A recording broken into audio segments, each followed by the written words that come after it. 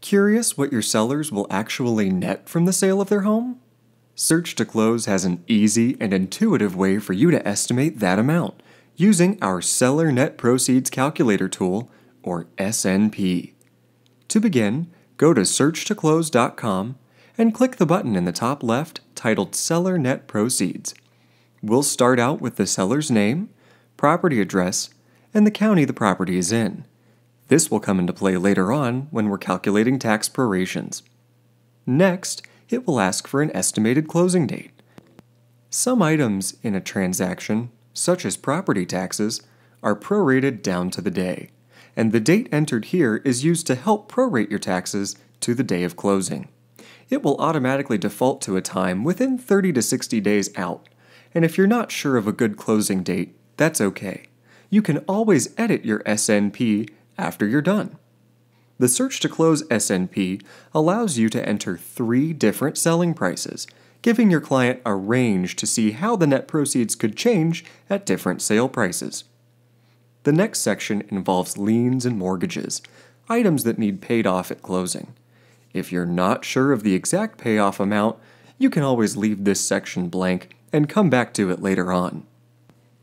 Up next is tax prorations probably the most confusing part of a real estate transaction are property taxes, as they are paid one full year in arrears, meaning the tax bills you and your clients receive are actually for last year's taxes.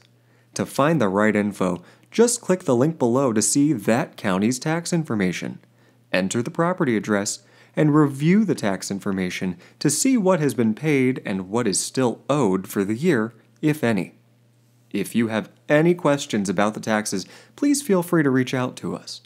We are happy to answer any questions, as we know this subject can be a little tricky for homeowners and real estate professionals alike. We're almost done. For this next step, enter the commission amounts and any additional fees, if any, and any known or expected transaction fees on the next screen.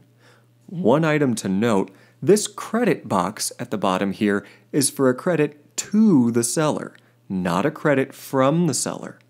If, for example, the seller is paying some of the buyer's closing costs, this would not be the place to put them. Instead, this box is to make up for any miscellaneous items that would benefit the seller.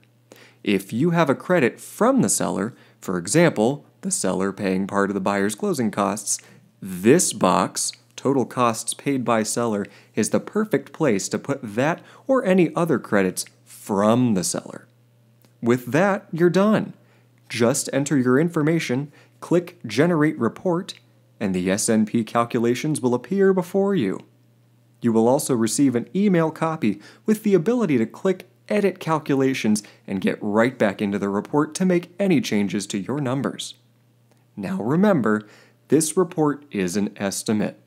While we include as many items as possible to make our SNP as accurate as can be, things can always change throughout a transaction.